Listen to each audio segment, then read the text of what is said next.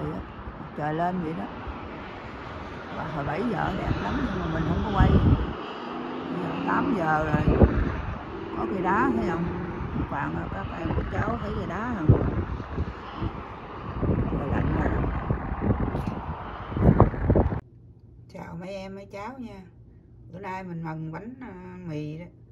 Nhưng mà mình ờ, thích làm với ờ, cái cái mà lá dứa á nên mình mua lá dứa này này về mình sắc ra và mình à, xay ra, mình lượt, mình làm lá dứa à, bánh mì nha các bạn.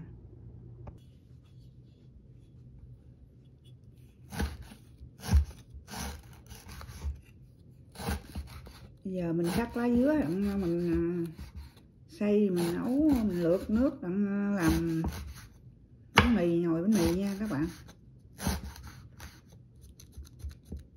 Thì trong đồng đá nó dài lắm.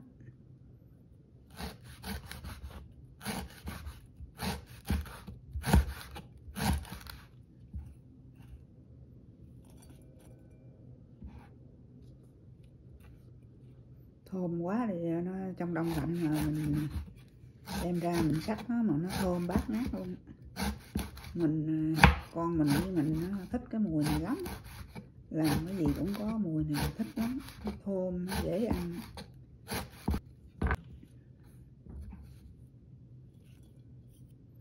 Mình làm có nửa bịch thôi còn nửa bịch nữa làm nhiều sợ nó đắng mình bỏ vô máy đang xay các bạn này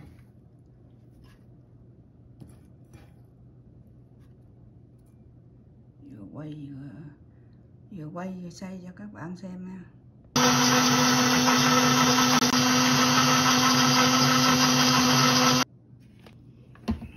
Quay xong rồi đấy. Nửa bịch là nhiều ghê nha.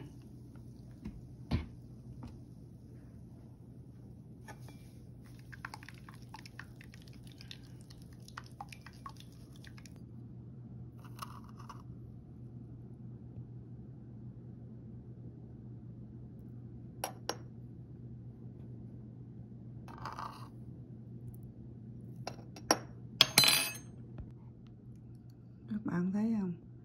Mình làm 500 gram bột mì mình làm 8 gram men men này nè các bạn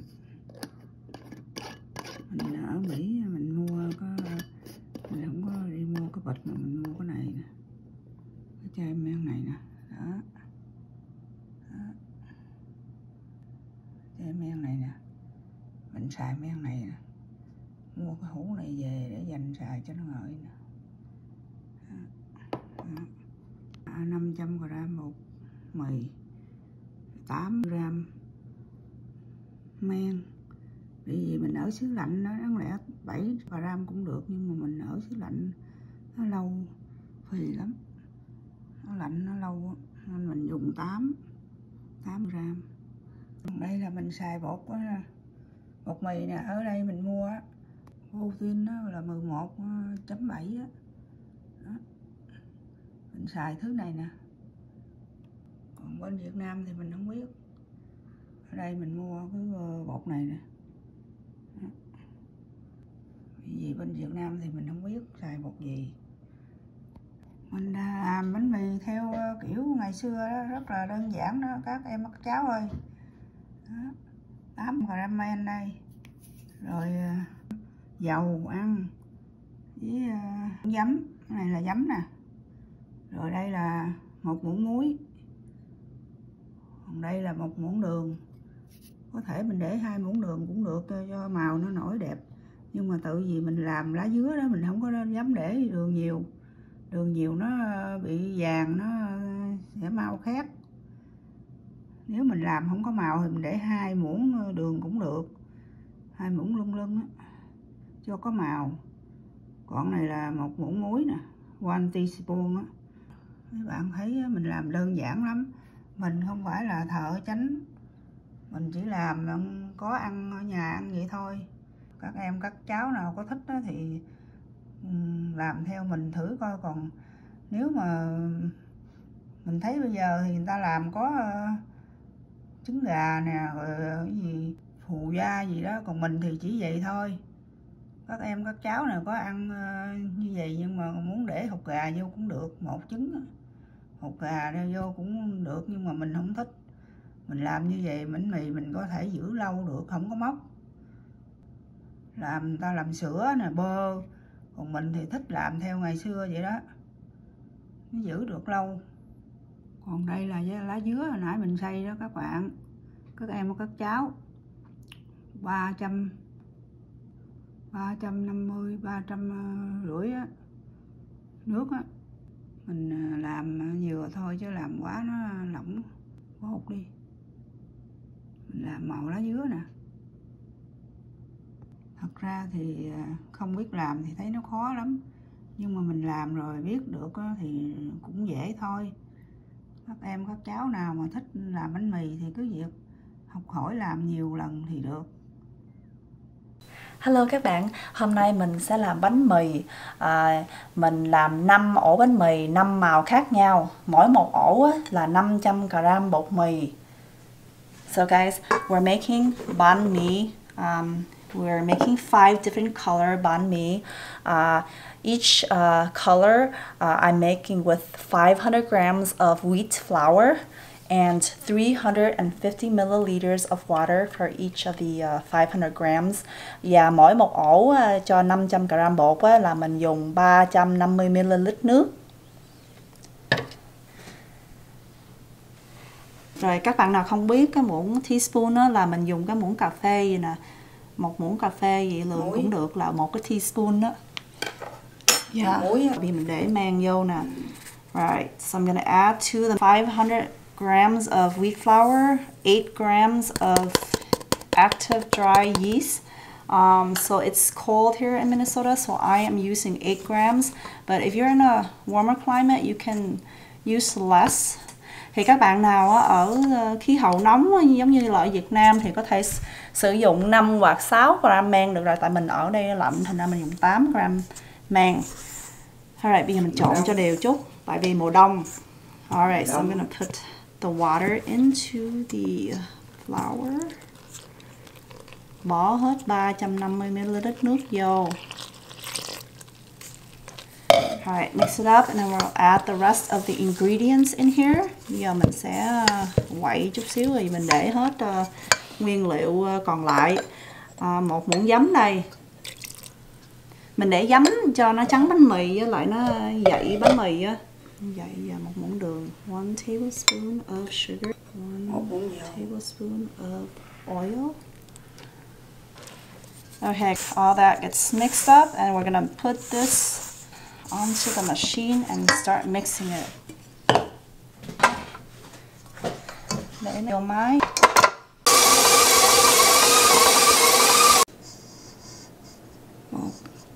Wow. Nó tới rồi đó. đó vậy là nó tới rồi đó. Đúng rồi đó. Giờ thấy là biết tới rồi đó. Đó, đó thấy không? Rồi tới rồi đó. tới đó. thấy không? Right, so it doesn't rip when we uh... đó, không có rách nè. Nó giống như cái bong bóng á. Đúng rồi đó.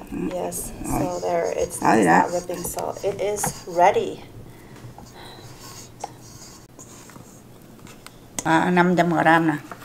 À, ráng nước nè thấy không? Đó, đây chưa? Này, cái này mình làm 6 ổ bánh mì. Chia ra. So we're going to divide the dough into six pieces. 6 ổ. It's going to make six banh mi.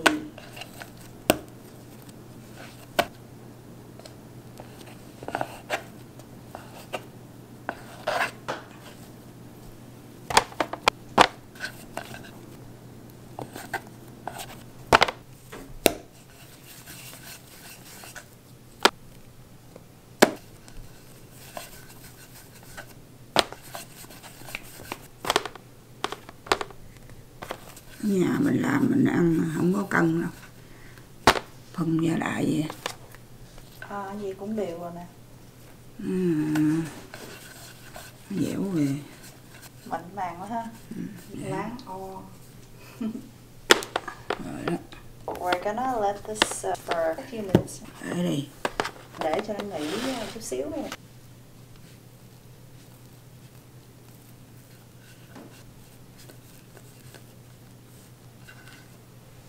cái này bánh bự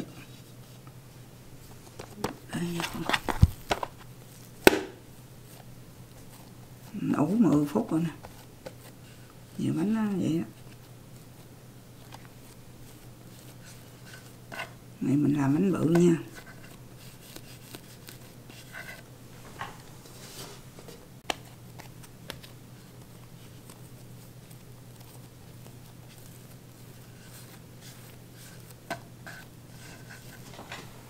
bự quá không được để riêng vậy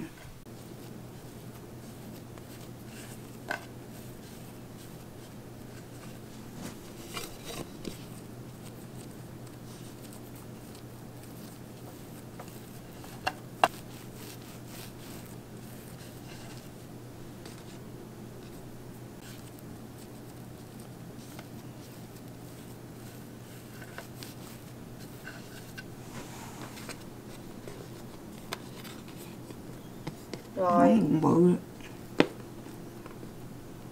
We're gonna let this um, sit for about an hour. Giờ mình để ủ uh, khoảng tiếng đây. Bây giờ mình làm tới uh, màu uh, lá cẩm. Alright, so on to the purple uh, bánh mì. Uh, I'm using magenta leaf color here, 350 milliliter. Uh, cũng 350. Right, yeast.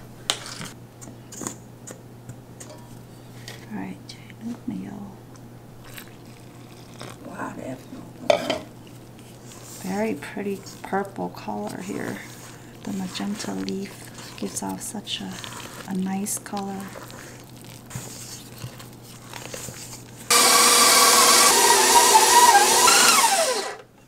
rồi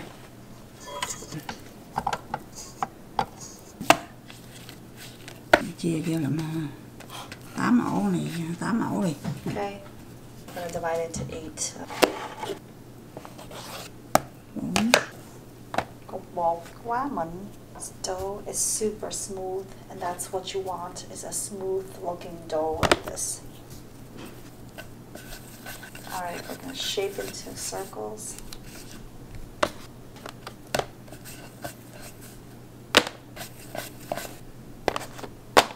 While we wait, we're gonna turn on the oven. I'm gonna bake it at 450 degrees. Got to be at least 450 degrees for this bread to be crispy and crunchy. Bây giờ mình mở lò đây trong thời gian mình chờ đợi 450 độ. Alright. Ok, bây giờ mình à, nắng bánh mì. Để chút xíu dầu vào tay cho đừng dính. I'm gonna shape the bánh mì here.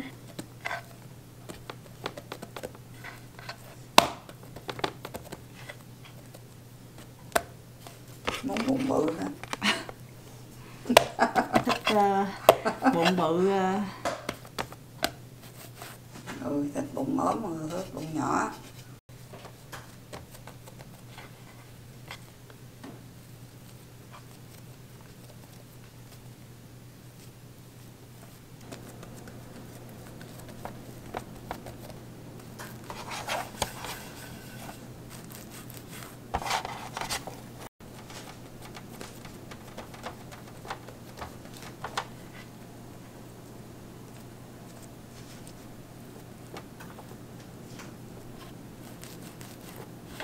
Rồi đó, nó dò hết rồi, 8 ổ rồi đó. Bây giờ là đi ủ. Alright, so we're gonna proof this here for about an hour.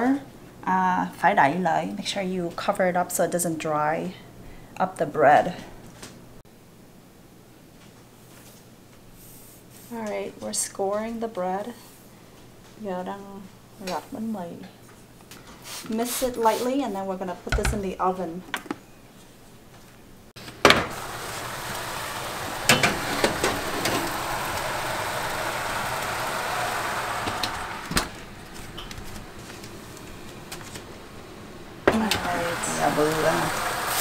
10 phút rồi giờ mình xịt nước So it's been 10 minutes, so we're missing it for a little bit.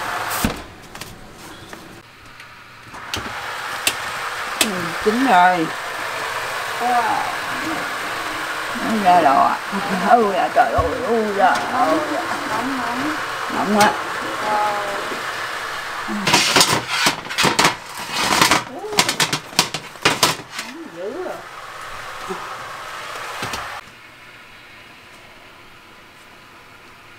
Quá. Wow, bánh mì mới ra lò nóng hổi Super hot, fresh. Để nó nguội ấy được. just came out of the oven. We're gonna let it cool off a little bit. Nóng quá cầm không được. Yeah. nóng quá. À, ồ, sốt quá rồi nè. Wow. Đó. Wow, giòn dữ ha. Mới ra đồ nóng hổi nè các bạn ơi. Oh, wow. Oh, Bánh mì ngon dữ rồi sốt giòn á. Oh, wow. Sao, ngon không ạ? ngon. Ăn nghe giòn khú khú. Ngon. Không? hổi à? Khói lên. Nè. khói lên bánh mì luôn. Thơm bánh mì quá. Còn dễ sợ ngon. Ah, the smell of bread freshly baked bread smells so good. Rồi. Wow. Nóng quá hả? Trong dai khói nóng. Uh, so it's very crunchy on the outside and uh, um, very uh, light and airy on the inside. Just how it's supposed to be. Người Việt Nam. Yeah. Bánh nó bị bò rồi Vô.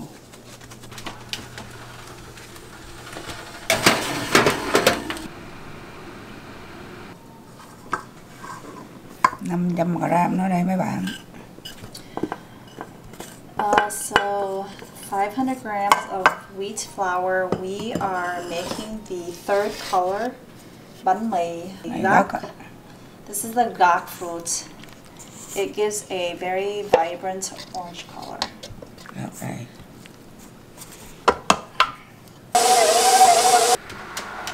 vàng mà nóng quá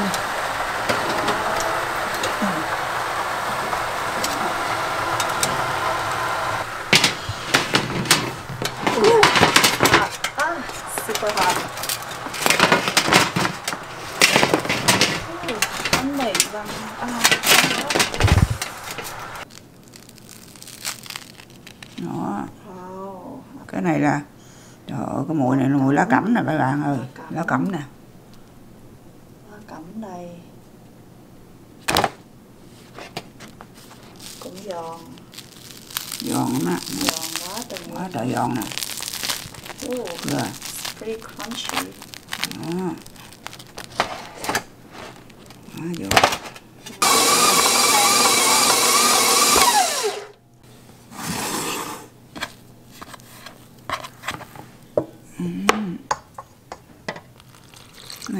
lá dứa nè mấy bạn ơi. Mình xay ra mình để mình chế. Quá. Alright so this is the pandan leaf which gives that nice vibrant green color. And this one's the one that has a aroma such a nice aroma that smells like vanilla. Thơm quá. Asian vanilla here đánh á.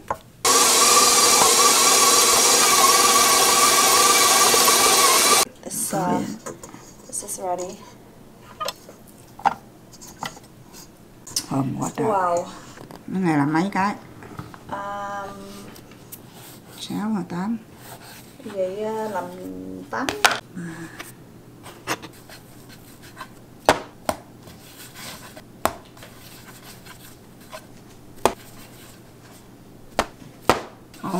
này làm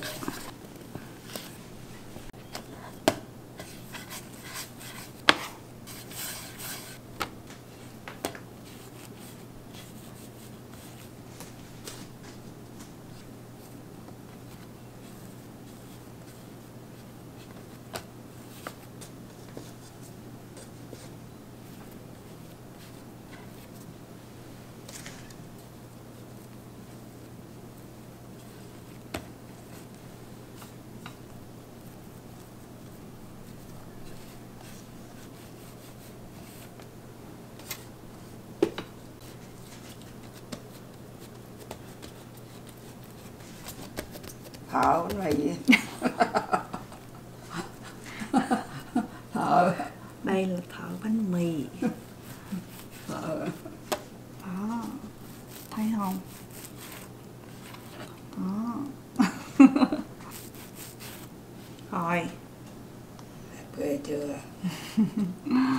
Cảm ơn mẹ. Rồi đây.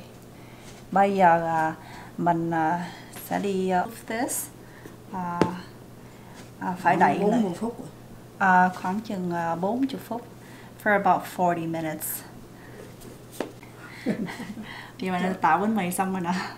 Bây giờ mình đem đi ủ khoảng chừng 40 phút. Alright, so we already shaped the bread. We're gonna go uh, proof this for about 40 minutes. Màu đẹp quá ha.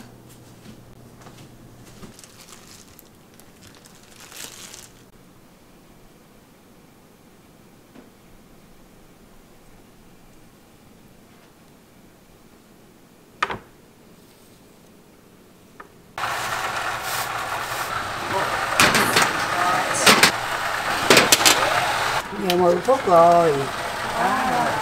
Giờ sạch nước vô. Let's give this a miss here. Này có nổi mình thì ăn với bánh mì đây mấy bạn.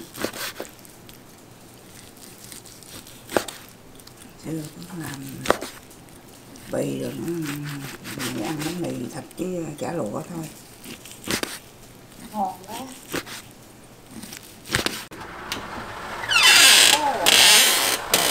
Wow. Đó, vàng rồi, vàng rồi. Ở dưới nó vàng quá rồi.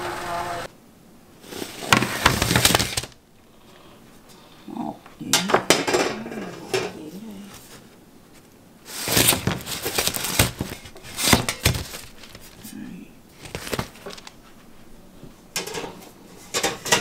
Thịt chả chả là qua làm bánh mì đó.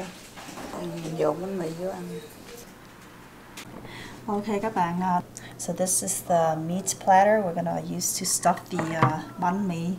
Put butter into the sandwich as well as real mayonnaise and then dĩa rau and then um, plate of uh, all kinds of vegetables.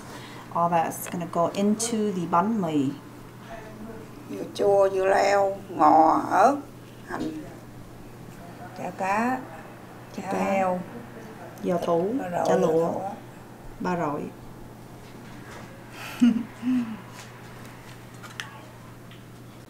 ok. À, cái này là cái củ dền mình lấy cái màu đỏ để làm để cái màu bánh mì. So for the red color we're using using beets there goes the beet juice gives a nice red color. Đi. yeah. Mang. 8 gram trời ơi vớt chung alright một củ dền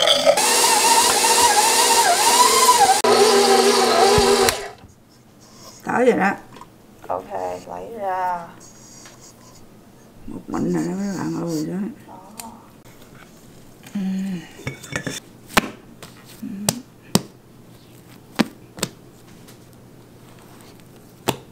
xáo ổ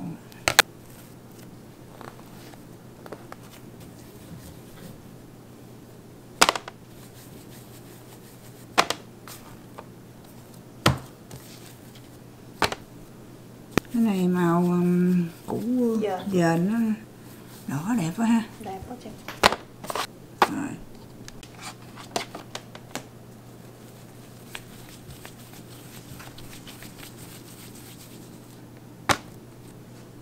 Hay quá. Rồi.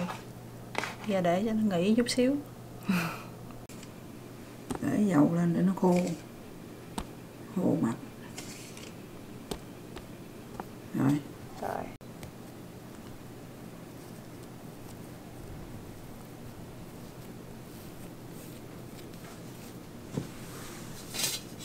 Đẹp quá.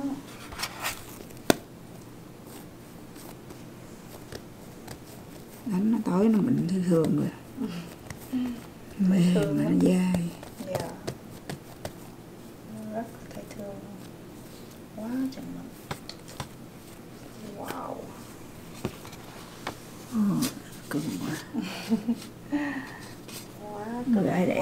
cưng cưng. Gai cưng. Gai cưng nè Quá đẹp cái cưng đó. Cưng ghê chưa? Quá là cưng.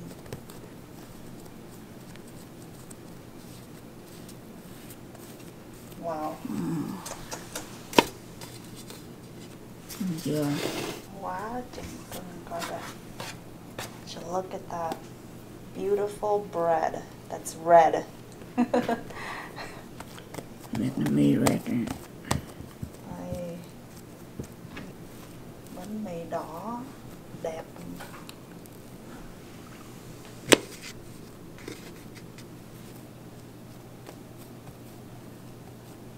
kéo nhiều quá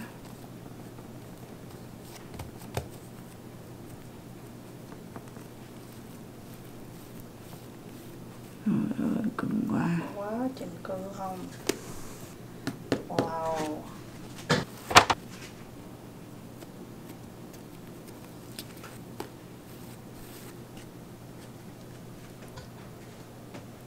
Rồi xong uh, này mình làm 6 ổ nè. Alright this is six here. Ừ. à, ổ bự đúng rồi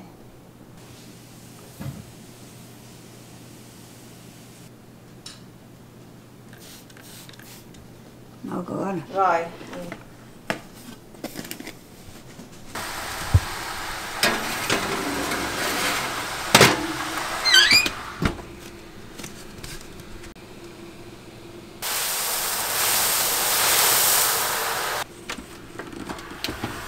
Alright, okay, xong rồi. Let's take out the bread here.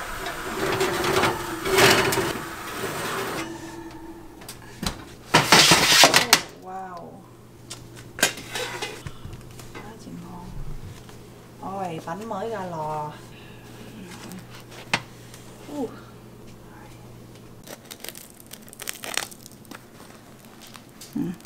Wow, nào là dứa nè thơm quá Thơm dễ sợ mẹ trẻ là thấy thơm quá chừng. thơm Thơm.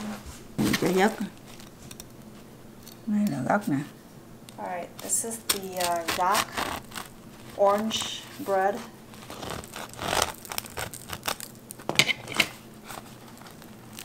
Wow. Này là Mì gấc gấc. đây. Mì gấc đó. There. Này mỏng hôm nay Đây là củ dền. This is the uh, red beet color.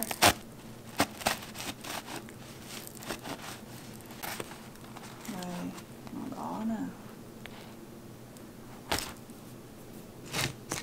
màu lá cẩm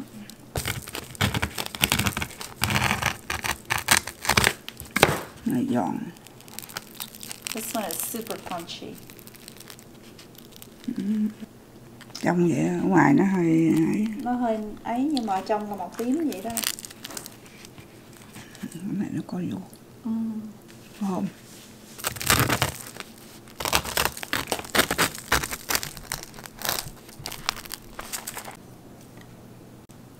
Ừ, thịt bò đậu nè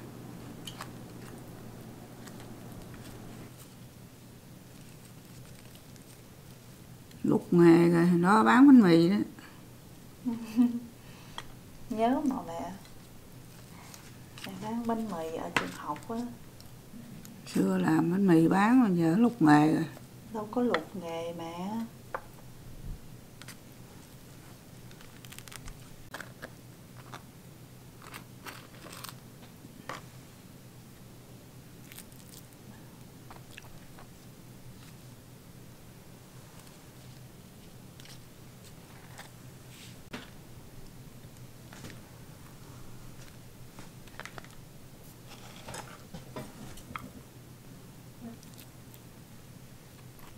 thịt bò rọi. Con cũng thích ba rọi.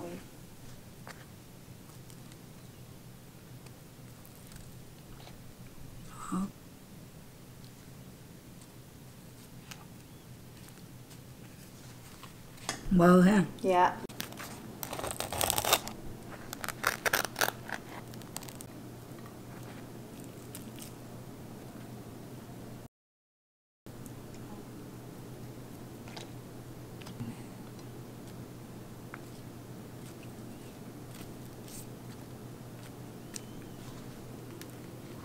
bơ nhiều vô ăn cho nó mập đi dạ. bơ thì mập rồi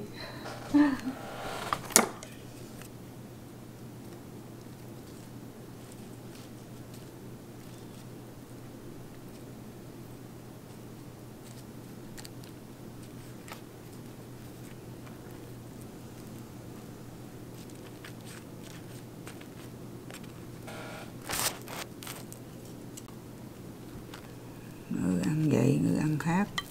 Người thì ăn mane người thì không ăn mane người thì ăn thịt người không ăn không thịt thịt nhà này ăn ai cũng ăn một thứ món khác nhau hết. Dạ con thì ăn bơm. Các bạn ơi mình với mẹ mình làm bánh mì xong rồi nè các bạn. Um, uh, năm màu năm màu. Mình ăn cái màu lá dứa tại mình thích cái màu lá dứa nhiều lắm. Uh, ăn nhiều thơm ngon nữa Uh, so uh, we've already finished the uh, banh mi here, and I'm gonna eat the uh, the green banh mi, which is the pandan leaf. It's my favorite uh, color here, so it's got a really um, really nice aroma to it as well. So I'm gonna eat this one. Try it. Hmm. Quá giòn.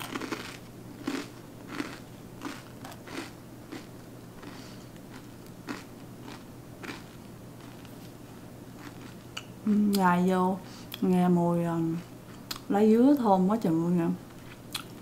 Lá dứa đông lạnh đó chứ làm ít á. Còn làm nhiều ở bên ở Việt Nam nó tươi làm thơm nữa. Thơm mà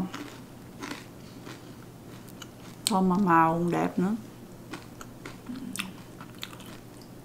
Làm màu nó dứa nướng nó thấy cái màu nó nó, nó, nó, nó giòn nó hơi hơi hơi tối tối màu. Đúng rồi. Nhưng mà ở trong cái bộ cái ở trong thì, thì ờ, ở trong thì Xanh dờn. xanh dờn thấy không? Chỉ có bên ngoài thôi. Vậy đó. Ở bên trong màu xanh đẹp lắm. Ừ, tại vì ở ngoài á, mình nướng á ra nó hơi vàng chút xíu vậy đó thôi.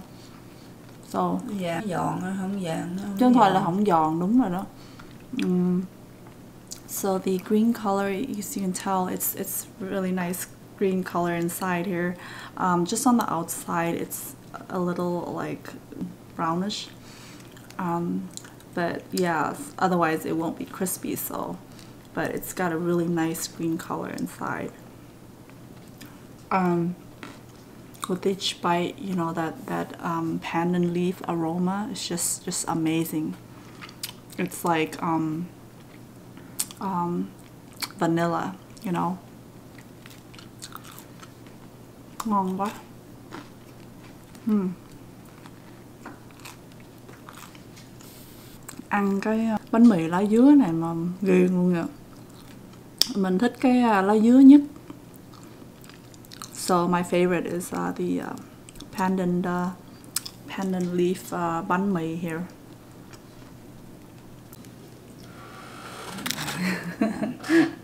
Ăn. Wow. Giòn quá trời luôn. Uhm. Mình với mẹ mình thích ăn giòn khú khú vậy rồi. Uhm các bạn mà không thích ăn giòn thích ăn mềm đó, thì mình để bánh mì ủ hơi lâu khoảng chừng tiếng vậy đó đầy nó mới giòn mẫu cũng giòn nhưng mà giòn ít hơn. Đúng rồi ít hơn. Ăn bánh mì uống xị còn gì bằng nữa. Um, so uh, guys if you this is super crunchy.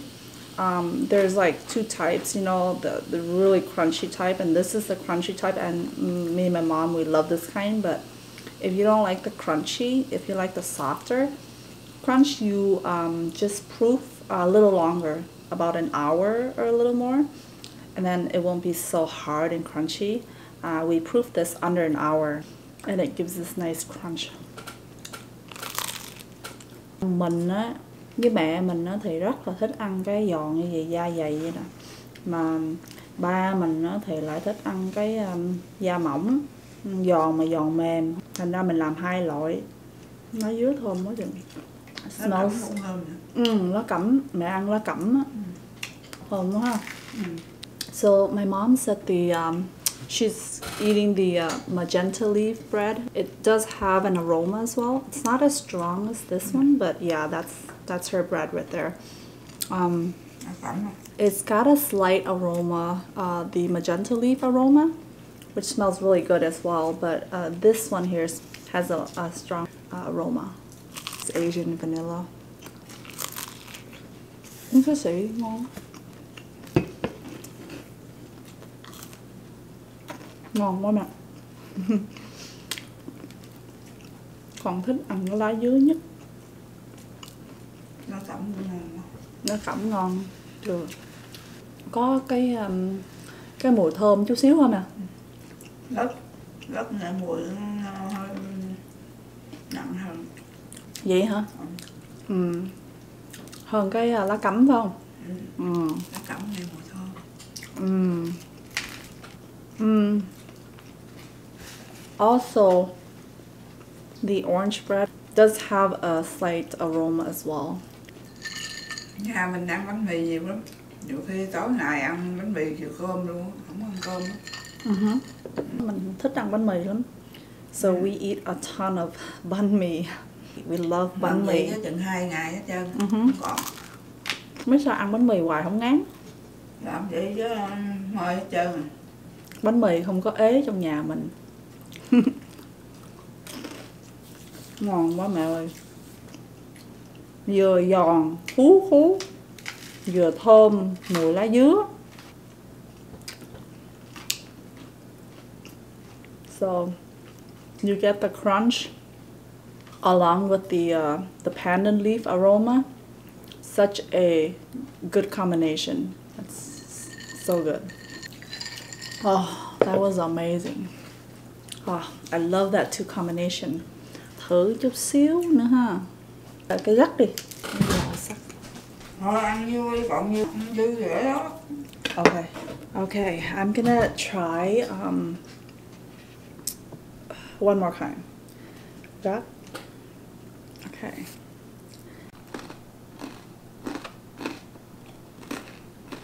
Cái này cũng giòn nữa.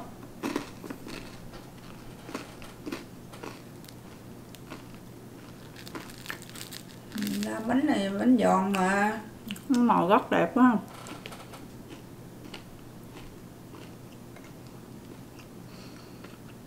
Thôi bụng ăn chịu cơm ăn hai ổ luôn. Được chứ. Màu đẹp thật. Chưa đến nỗi Cũng không cũng ăn hai ba ổ luôn. Ừ. Ai cũng ăn hai ba ổ á.